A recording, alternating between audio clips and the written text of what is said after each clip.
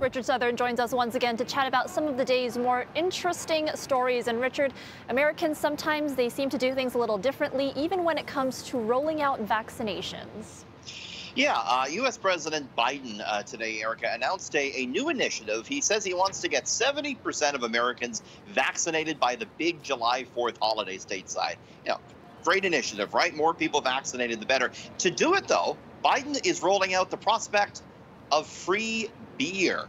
Mm. Yes, the U.S. government teaming up with the big brewer uh, Anheuser, uh, Anheuser-Busch, and Anheuser-Busch says we're going to buy every American age 21 and over a round of beer if Biden hits his goal of vaccinating 70% of the population by July 4th. Uh, when announcing this today, Erica Biden said, quote, get a shot, have a beer. Do you think this is an appropriate incentive? I don't know. I mean, it's it's one way to do it. They've been offering all kinds of things in the states in order to get a shot. Why not beer? I guess. Right? C CVS, I, the big drugstore yeah. chain down there, is giving away free Super Bowl tickets. Uh, we've got Krispy Kreme giving away free donuts. I tried to ask um, uh, Premier Ford last week if he would engage in such incentives.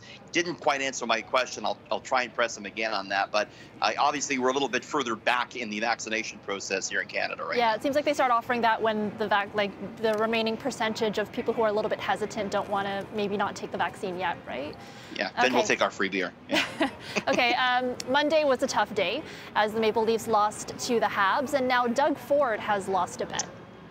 I think announcing that schools will stay closed until September was perhaps the second most difficult thing the premier did today, Erica. Mm. He took to social media to show off his Habs jersey. This is Ford living up to his bet that he made with Quebec Premier Francois Legault. The two leaders, you know, making this friendly bet over the Leafs Habs series. Leafs lost, so Ford's got to put on uh, the jersey. Ford said, quote, this is killing me putting on this jersey, but I'm proud of our great Maple Leafs. They did a great job, Ford jokes in this video. That's a good thing I didn't bet, Erica, because I said here on City News that the Leafs would win in seven. Of course, they lost in seven. You should have pressed me. I could have been doing something silly right now. yeah, I know. Maybe next time, next time around.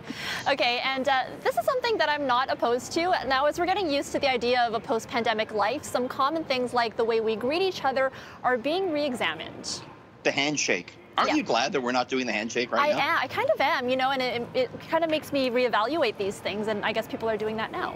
Was there anything worse than grabbing a, a sweaty, sweaty clammy hand? hand? Yeah, it was not cool gross.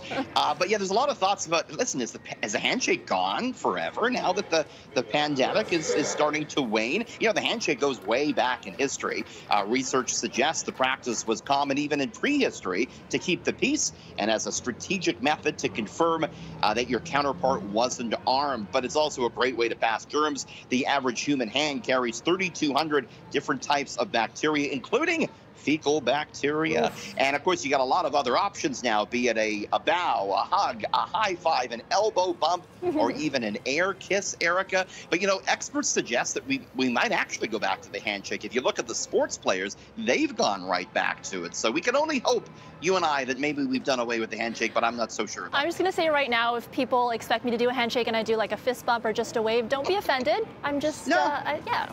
That's right. We all just right. don't want your germs. That's all. okay, thanks, Richard. We'll see you again tomorrow. See you tomorrow.